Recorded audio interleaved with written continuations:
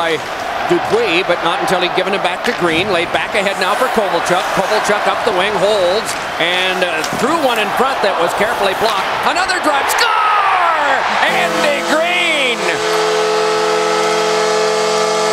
Woo, does he unleash this bullet? Andy Greene and the entire Devil defense so aware in all areas of the ice, but especially where they can chip in offensively. He starts Kovalchuk stepping in, waiting, waiting, shooting it. A beautiful rebound shot low to the glove side. And Fleury pops it out past his own players. And then Andy Greene just blasts this thing